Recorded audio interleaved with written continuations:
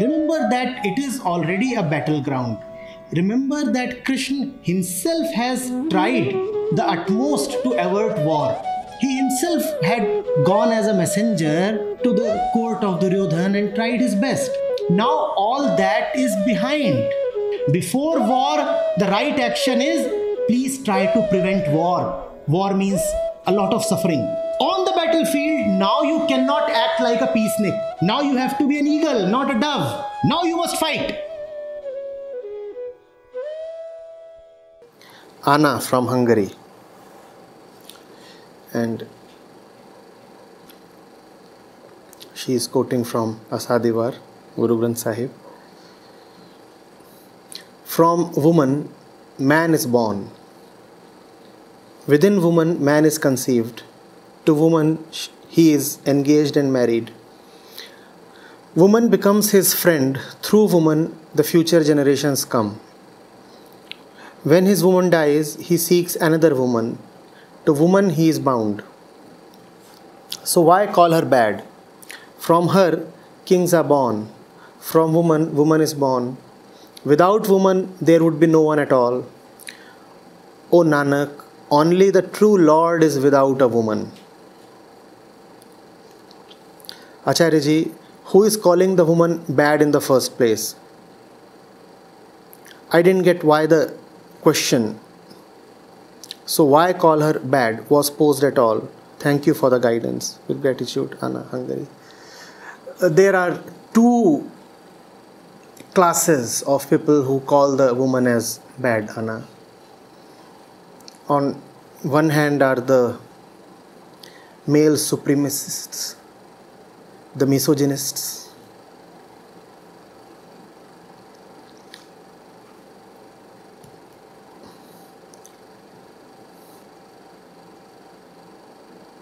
who have this notion that one gender is superior than the other.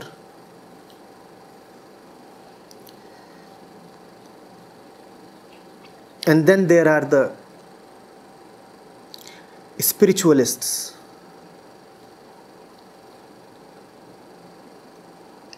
who talk not of the physical woman but Prakriti. and they say Prakriti or Maya or Avidya are the root cause of man's bondage.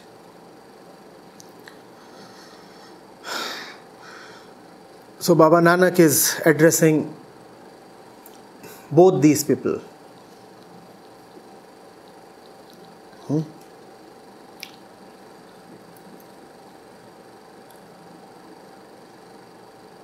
he's saying that you who talk ill of the woman are not at all separate from the woman.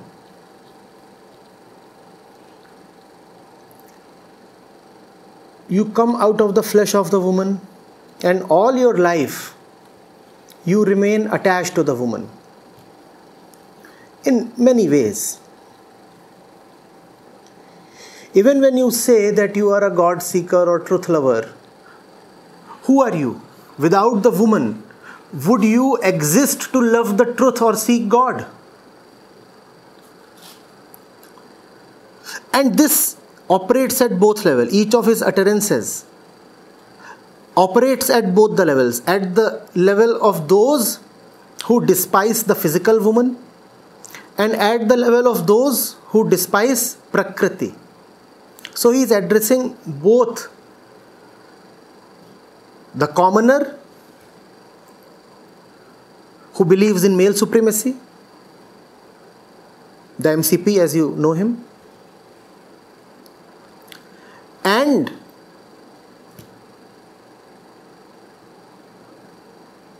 the Pandit, the spiritualist who keeps on cursing Prakriti. Nanak Sahib is talking to both of them, and each of his sentences is addressed to both of them and therefore has two meanings. To the commoner, he is saying, Aren't you a big hypocrite that you keep cursing the woman? If the woman goes away from your life, you would not take two months to bring another woman into your life. Such is your dependence on the woman.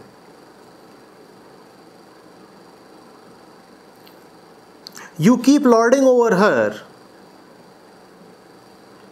And Anna, remember that when we say that Baba Nanak is addressing the commoner, do not forget the context. He is talking to the peasants of Punjab. Hmm? He is talking to the people of Punjab as they were 700 years back. That's the context. Hmm? So he is saying if the woman goes away for a while, then it is you who become desperate for her.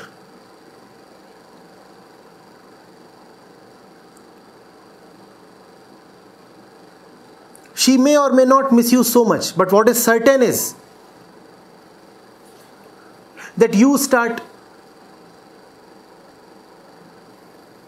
longing for her, pining for her rather.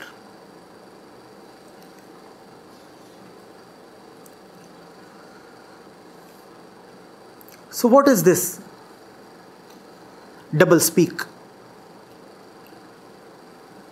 On one hand, you cannot live without her. On the other hand, look at your actions. The woman does not need four husbands, but the husband often needs four wives. So, which gender is more in need of the other? The woman is able to do with a quarter of a husband. But the woman is, but the man is wanting four wives.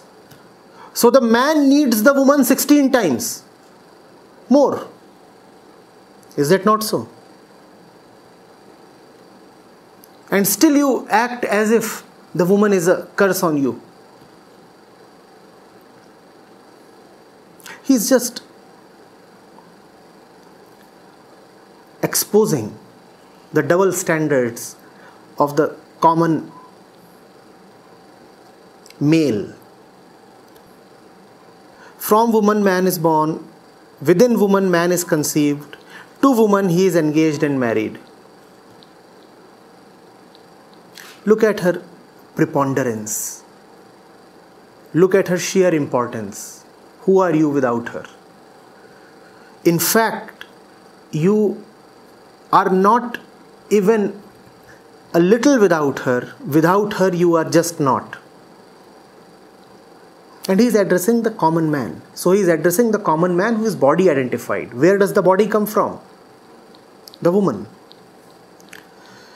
Woman becomes his friend. Through woman, the future generations come. Is that not what you want? You want a son. From where would the son come? Even the son has to come from the woman. You might keep with the entire world the entire day.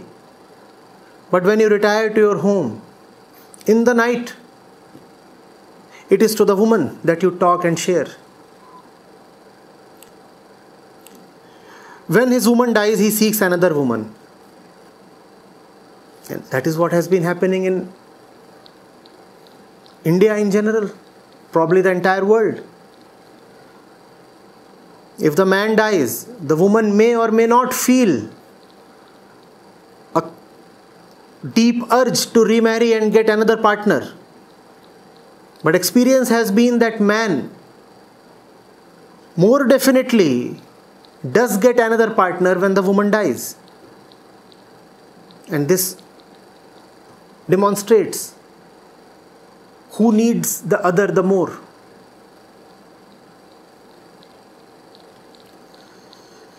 From her kings are born. Even the greatest one who achieved liberation came from her, didn't he? The child starts off just as a body.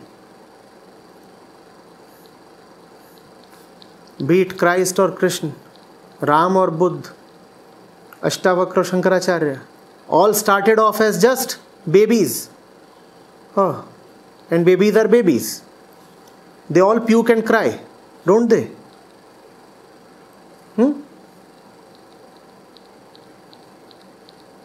and they all get measles babies are babies From where did that baby come? Who nursed that baby? The woman.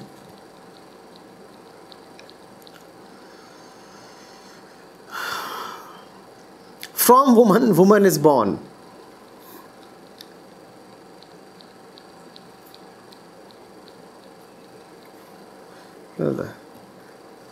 Utter genius of the sage.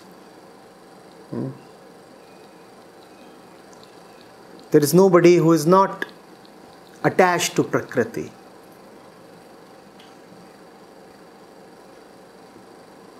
It's just that sometimes you may like one kind of Prakriti and not another kind. But that aspect of Prakriti that you like and are attached to, that too comes from Mother Prakriti. Which means Prakriti in its wholeness has to be accepted and even respected.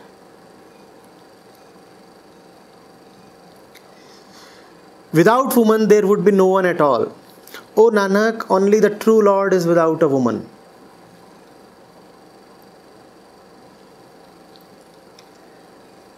There is Prakriti, there is Purush, and there is Paramatma. To all who are body identified, Prakriti is the companion. Hmm? Who is body identified? The Purush. What is the body? Prakriti. I am the body. When you say so, then I is the Purush. Body is the Prakriti. And when you give up the body identification, then only the one great I remains, and that is Paramatma. But that is only for those who have given a body identification.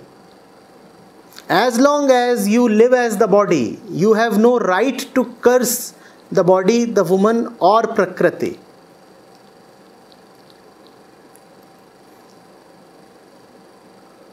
If you claim to be beyond woman, then ask yourself are you one with Paramatma? O Nanak, only the true Lord is without a woman. Mind you, only the true Lord. Are you the true Lord? Are you one with the true Lord? If you are not one with the true Lord, why do you speak ill of women? That would be hypocrisy. On one hand, you are so dependent on women. On the other hand,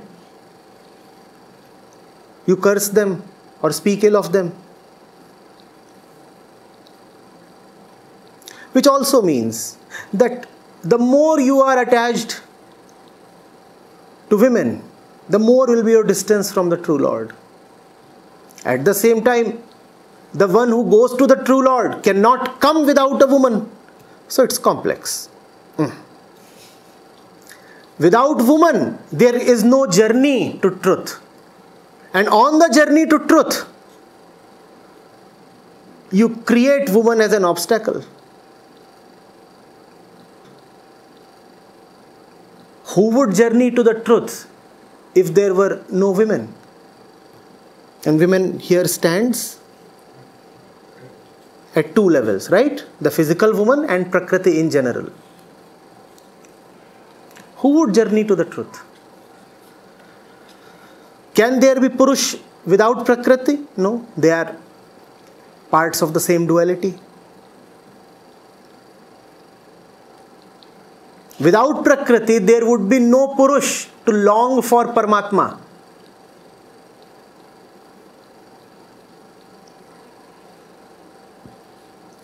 At the same time, if the Purush gets lost in Prakriti, he never meets Paramatma. But if you get lost in Prakriti, is it Prakriti's fault? Did she tell you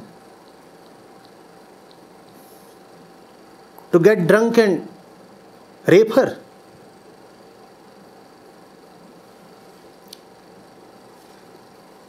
She exists with you. She doesn't exist to become an obstacle for you. If you are then she is. Now how do you denounce her?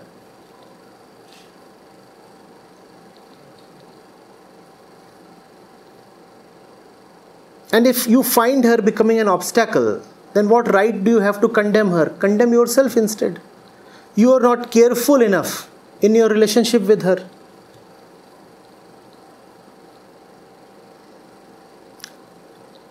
She is not merely a necessity. She is your physical progenitor. She is where you physically come from. She is the physicality, Prakriti. And without your physicality, who are you to seek liberation? All this bliss that you talk of in the spiritual process, to whom would it come without your physical self? What bliss have you experienced sans your physical self? And physical self is needed even to be liberated. Then shouldn't you rather thank Prakriti for liberation?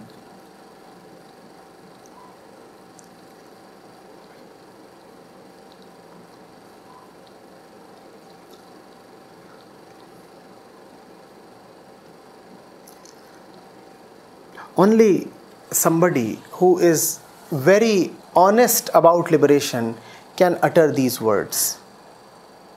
Others are neither liberated and not even sincere about being liberated. So they blame their bondage upon Prakriti rather than themselves they would say, Oh, what to do? My body is like this. Oh, what to do? I am genetically not equipped to be liberated. The woman is being blamed. Woman is the body. Woman is the Prakriti. Oh, what to do? I am a lady. So I get a little carried away by hormonal emotionality. That's the kind of arguments that insincere people come up with. Whenever you find somebody blaming his or her body or conditioning for his various shortcomings and bondages, see that Prakriti is being blamed. And if Prakriti is being blamed, then you must Remember these words of Guru Sahab again and again. Do not blame her. She is your necessary companion. She is your necessary companion. Now, if you turn her into an enemy, that is your decision. Your journey liberation would necessarily be along with her. Now it depends on you how you use her in your journey to the truth. Can you journey to the truth bodilessly?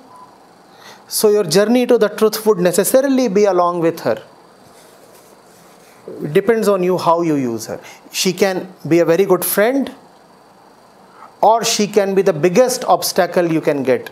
In either case, you are responsible.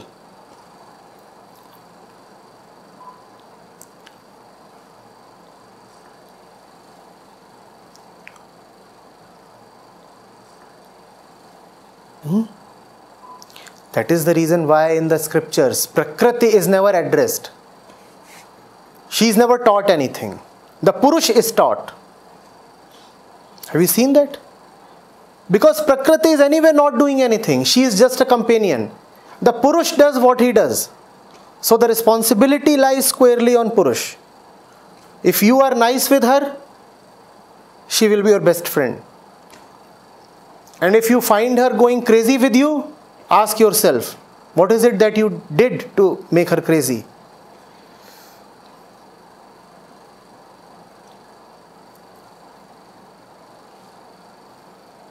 I'm not addressing merely the physical males, I'm also addressing the physical females, right?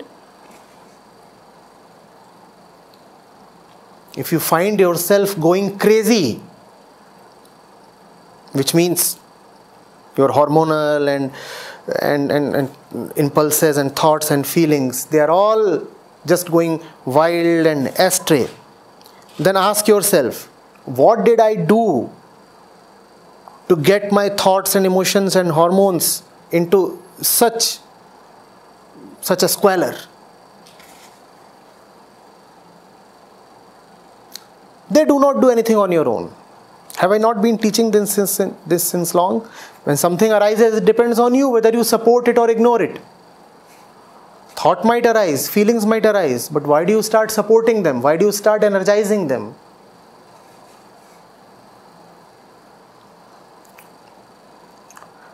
So you must see why the Purush is being constantly addressed. Because if things go wrong, the fault lies squarely with the Purush, never with Prakriti. She is what she is. She is the universe, she is the material, she is all that exists. You are the one who does something with all that exists you are the one who establishes a particular kind of relationship with the universe. So you have to answer why did things go wrong? The universe is passive in itself. Prakriti too is passive. In the entire game, the woman remains passive. So, if the activity goes wrong, the question would certainly be asked to the actor, not to the one who is passive. You were talking about Purush, Prakriti, and Paramatma. So, the purpose of Purush is to be over Prakriti and merge into Paramatma or to know Paramatma, as much I could understand. Purush likes Prakriti and loves Paramatma. Purush likes Prakriti and loves Paramatma. But he thinks liking is loving. So he says, I love you to Prakriti. So, Acharya the other animals, the lower animals, the lower animals. Lower animals, what do you mean uh, by that? Exactly? Uh, means lower to. Uh, Call hum, or Soham.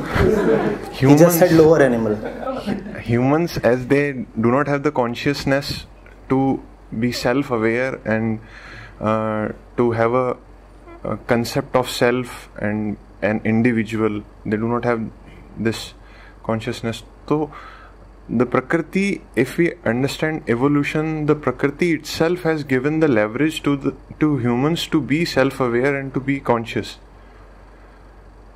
and to see prakriti uh, different you know, means prakriti has given the leverage to humans to see itself. The saints would say prakriti has given birth to purush in her effort to reach paramatma. Prakriti wants to reach paramatma through purush but purush is so mad that he thinks that prakriti is an obstacle it's like mother giving birth to the baby and the baby is trying to gain liberation. And in his effort to gain liberation, he thinks that the mother is an obstacle. Why the mother doesn't know her? Because the mother herself is a baby. Mother too is both the son and the mother, right? Prakriti and Purush exist within both the male and the female. So the mother is on the same path as the son. But as the saints have known the Paramatma, then Prakriti has known the Paramatma. Yes, through them. why then it, it has to happen It doesn't have to happen. There is a choice. You make the same choices as the as the saints did, and then things will be different. so so then if the if the prakriti has known the paramatma then the the misstep that this consciousness given to this one animal called human to be self aware then why it hasn't been taken away By whom? prakriti Why will Prakriti take anything away or not take anything away? She is a non-doer. but through evolution we say we see that this consciousness is being given to humans by prakriti itself It is not being given to humans by Prakriti. Consciousness itself is Prakriti.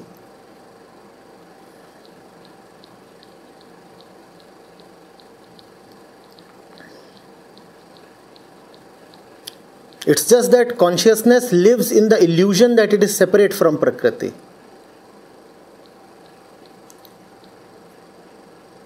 Semi separate. What consciousness is there without the brain?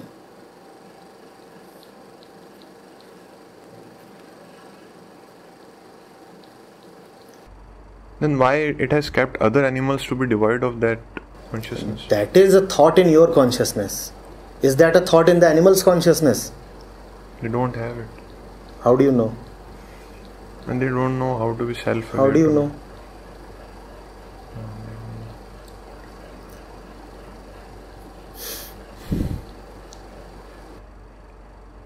so Acharya, when when will prakriti be completely know it and when there will be Maybe around 33 years later. what kind of question is this? when will we have the next lunar eclipse? Hmm? Are these pattern based things?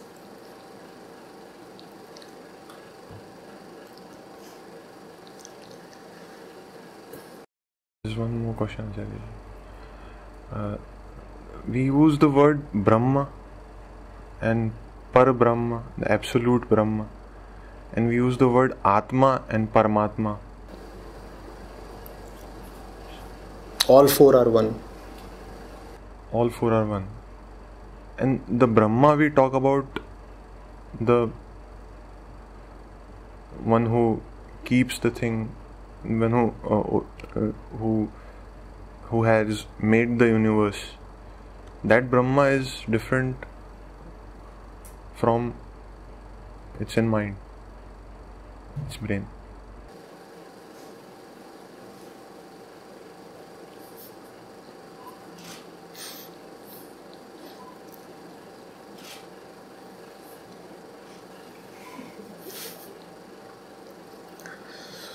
Brahma is for the pandit Brahm is for the gyani? Hmm?